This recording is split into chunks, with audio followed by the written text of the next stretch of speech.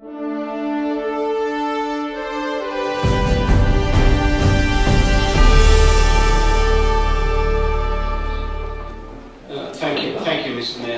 I'd just like to raise a, a point of order re realistically. It doesn't bear well.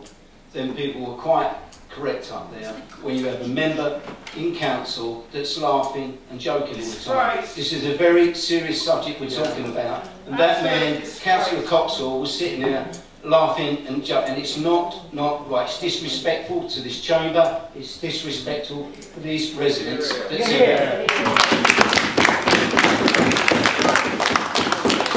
I'm, I'm going to move on. I'm going to move on now. Thank you. I think you've made your point. I think the points have been made, and we, we know that. I, I understand that while, Councillor, please. Yeah, so while I was outside speaking to the, the only councillor who went out to speak to uh, the, the George Abbott, um, obviously someone mentioned my name. Obviously, I don't know why that they did that. Obviously, I was the only one who went outside to actually talk to George, console him, and explain, to explain the situation to him and how he's. And obviously, he's going to put it in next month.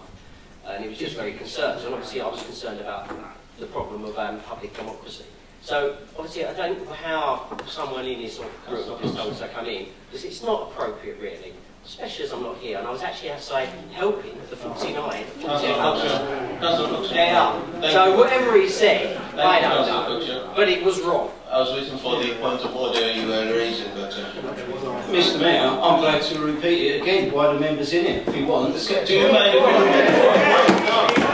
You, you, you give this man a chance to, to talk, he says I'm not here.